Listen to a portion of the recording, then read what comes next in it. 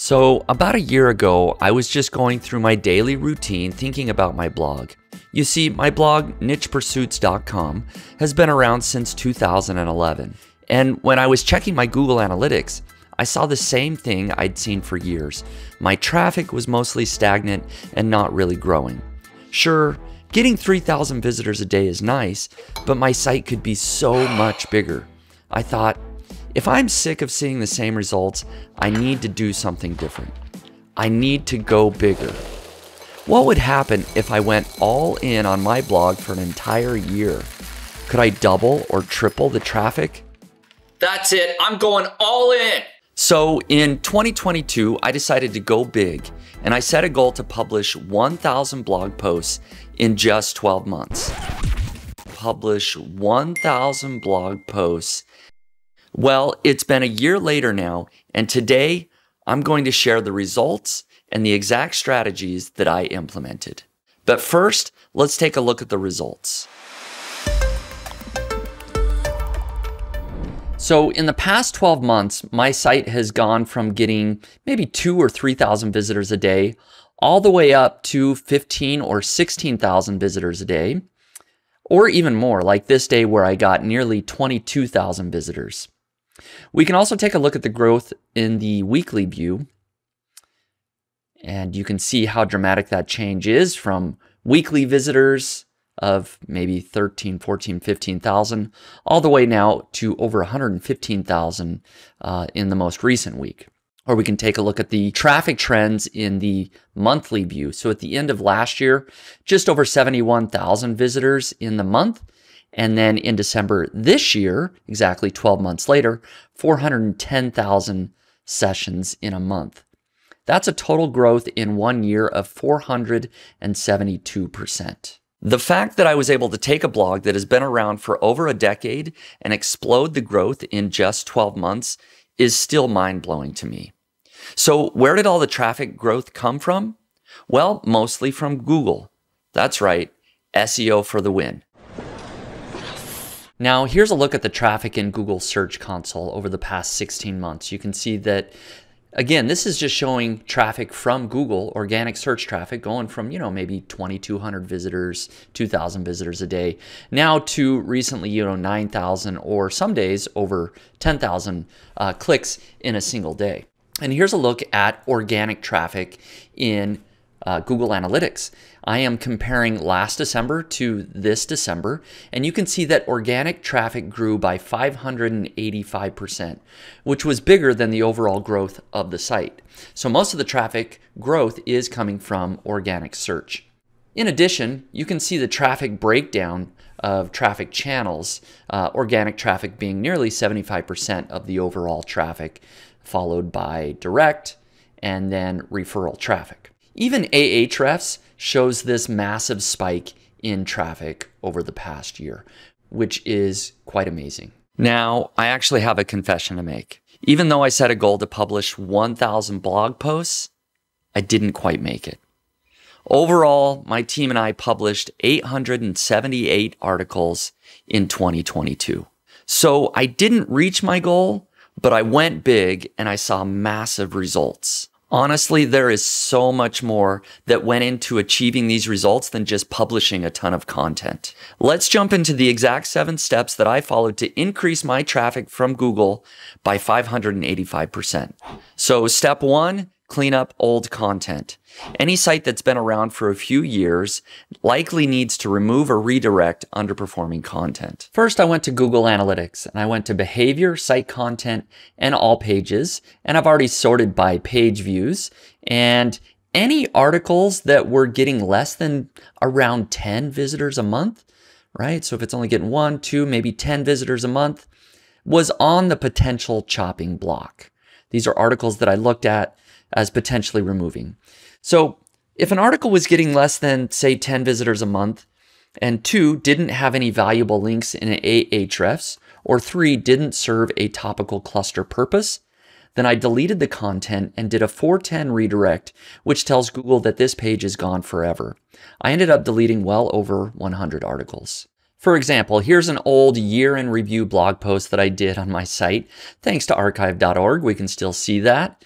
But I used to do lots of these income reports or personal updates, and well, it turns out that no one visits or cares about those posts years later. So I removed these posts from my site. If an article had valuable links but wasn't getting any traffic, I 301 redirected those URLs to another relevant article or my homepage, and I used Yoast SEO redirects to do that. The final step in cleaning up old content is fixing broken links. I use Link Whisper to get a full report of all broken links on my site and then quickly edit or remove those links. As you can see, you can simply hover over the link that you want to edit. Or if you want to remove the link or even multiple links at once, you just select the links and remove. This feature of Links Whisper seriously saved me hours of time so that I didn't have to go into each blog post one at a time and remove broken links. Step two, restructure your site. I knew I wanted to publish more content, and so I needed to make sure that my categories were appropriate to fit all the new types of content I wanted to cover. In my case, I needed to create and remove several categories to better fit the new direction of my site. I ended up adding four or five new categories and removing a few. Next, I did a full internal link audit since I had removed so much content and changed categories. Did I still have internal links pointing to unimportant content? Did I have too many or too few internal links pointing to articles? I used Link Whisper to quickly see how many internal links each article had. If an article was a pillar article that I wanted more traffic from Google, like this How to Build Niche Sites article, I might add several internal links to it. Or if an article had a bunch of internal links and it was an article I wasn't really trying to rank in Google, like this guest post uh, about white hat link building that was written several years ago, I would go in and quickly remove a bunch of internal links. Yes, it took time to add or remove all these internal links, but Link Whisper made it so much easier. The final step to cleaning up my old content was to analyze my topical coverage and fill keyword gaps. What I did was use a WordPress export plugin to export all my posts by category. Then I analyzed this spreadsheet to see if I truly had enough articles related to a topic that could all work as a topical cluster, or if I had missing gaps where I needed to produce new content. As you can see from this spreadsheet, I took all of my existing content, put it by category, topical cluster, maybe even a subtopic, and then I looked at it. And for example, this drop shipping, uh, what is drop shipping might be my pillar article. And I had a few existing drop shipping articles, as you can see down here. But as I went through and analyzed, I was missing a lot of topics that would really round out a topical cluster as it relates to drop shipping. And so this was my keyword research. I put the search volume, the keyword difficulty, and these would be new topics that I would uh, cover to fully have a topical cluster. And the idea is that all of these articles would then link back to the what is drop shipping, the overall pillar article when somebody's Googling drop shipping or what is drop shipping. As you can imagine, this spreadsheet took a long time to put together and organize, but it really helped me to better understand my site, the missing gaps in the content, and have a better content plan going forward. Step three, create a professional looking website. I did a complete brand and site redesign in order to look more professional, help people trust my site more, and possibly even stay on the site longer, which I believe helps Google know that my site is valuable. Here's a look at what my site used to look like just one year ago. And here's a look at what my site looks like now. In addition, my site took a major leap forward in being more mobile friendly, which I personally think has had a huge impact on increased traffic. However, I did more than just a simple site redesign. I also worked with a tech person to dive into Google Search Console and make sure that I was passing all core web vitals. Uh, there actually may be some updates that I need to make ongoing, but we've done a lot of work to improve the core web vitals of the site. In addition, we had errors to fix, including review snippets not showing up properly after the redesign. However, using Google Search Console to find and fix those errors was extremely helpful. Step four, standardize publishing processes. As much as I would have loved to write 878 blog posts myself, there is no way I could have done it without a team. I mean, I've got lots of things keeping me busy already. I hired well over 20 authors and had multiple editors to help out with all the publishing. However, first you need to develop a publishing process so that everyone can be on the same page. Now, here's a look at my standard operating procedures for nichepursuits.com. Uh, this spreadsheet all authors have access to, and there's a nine step process that they follow here, uh, along with a lot of instructions. And there is a lot here, more than I can go over in this video, but it's important that you document your procedures. I want them to know the structure, uh, how to find article length, and format, additional details, and so many things.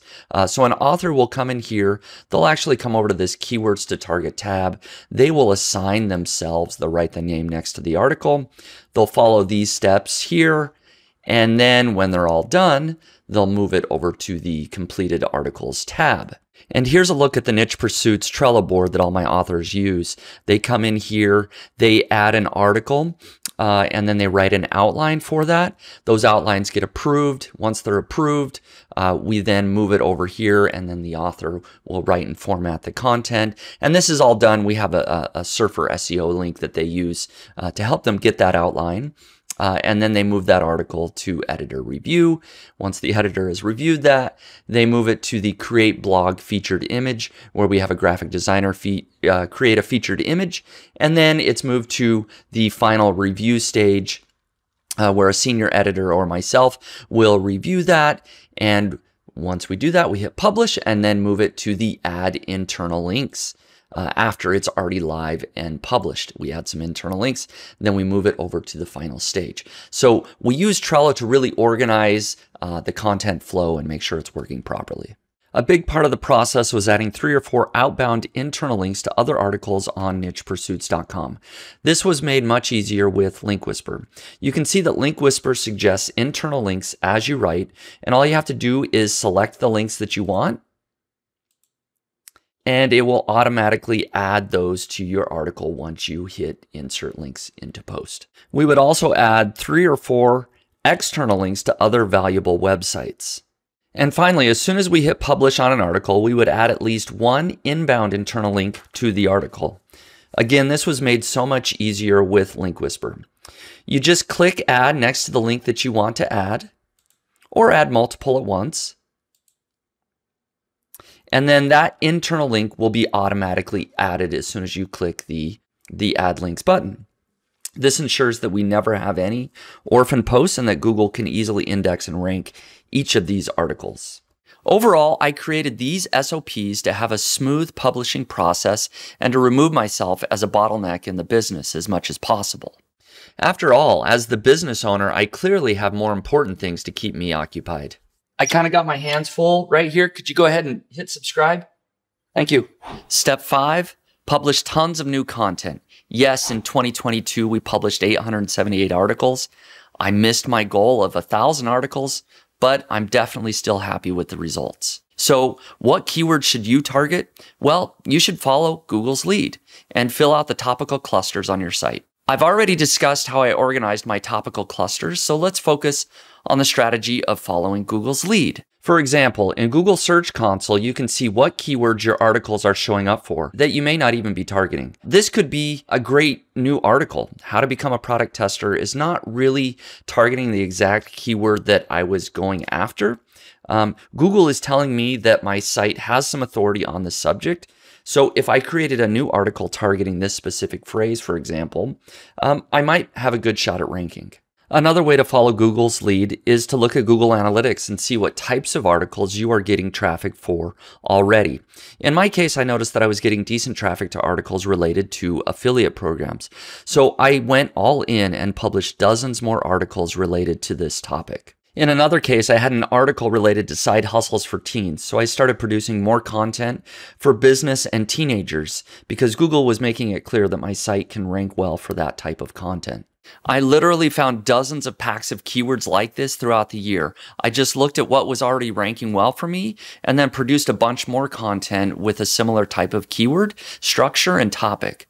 In 2022, we published 633 keyword focused articles for SEO purposes. We also publish 245 podcast episodes, success stories, or other types of content. This content may not bring in much SEO traffic, but it does attract links and often brings in discover and social media traffic in the short term. Step six, update content regularly. In total, we updated 119 articles throughout the year.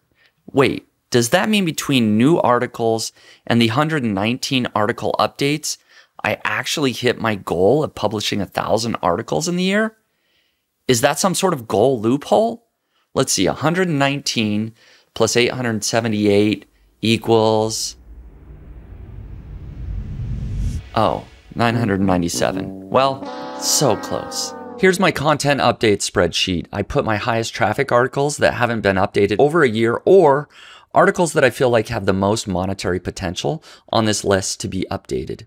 So as you can see, we have lots of columns. The basic idea is we document the start position, start surfer score or MarketMuse score, and then we update that based on those suggestions from MarketMuse or surfer. And then we uh, basically document the whole process and make sure that we are updating it and providing value.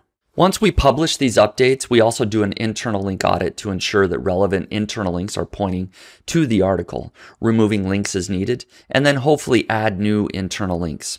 We use Link Whisper to make this entire process much faster and easier. Step seven, optimize site to make more money. So did all the increased traffic lead to more money? Absolutely. My site makes money in four different ways. First, affiliate commissions come through call to action buttons and links. We added a ton of these in the past year to encourage more clicks. Second, I make money from email subscribers. I make money through sponsorships or additional affiliate commissions with my list. Third, I sell my own software products or I'm a partner in a number of businesses. So I have links throughout my website or I promote in my email list other products that I own. Spoiler alert here, I make most of my money from my own products and business partnerships.